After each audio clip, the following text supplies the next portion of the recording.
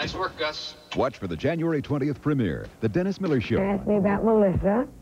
Uh, you know he's going to ask about my Christmas party. Uh, you know he's going to ask me, uh, what else? Uh, uh, what I look like naked. You, you, know, you know Howard.